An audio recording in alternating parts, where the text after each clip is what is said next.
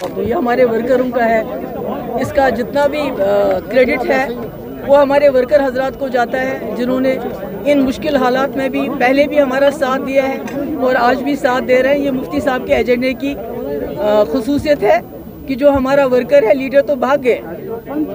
तो जो वर्कर है, वो अपनी जगह खड़ा है। कि मैंने आपको अभी कहा कि कश्मीर के लोगों, कश्मीर के लोगों को तो मलाल ही नहीं होना चाहिए, गिलाई ही नहीं होना चाहिए। जो सरकार, जो पिछले सत्तर साल में हिंदुस्तान की लीडरशिप खसूसी तौर कांग्रेस ने इस मुल्क में पैदा किया था, बनाया था।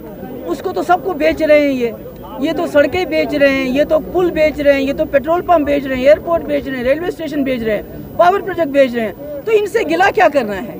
ये तो देखा नहीं कि क्या करते हैं वहाँ पूरे मुल्क के अंदर। कोई एक्टिविस्ट हो, कोई पॉलिटिशियन हो, कोई स्टूडेंट हो, कोई भी बात करता है, इनके खिलाफ तो उनको जेल में डाल देते हैं। तो हुरियत की तो बात ही नहीं है।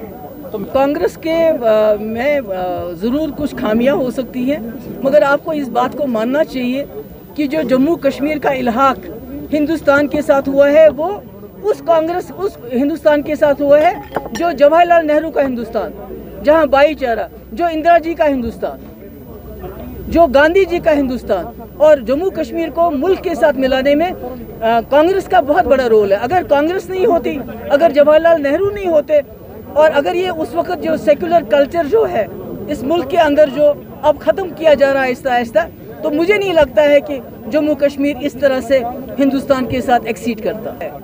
ये जो उनको सप्रेस किया जाता है पे झूठ बोलते हैं। हर बात पे झूठ बोलते हैं। इतने सारे पॉलिटिकल लीडर बंद है।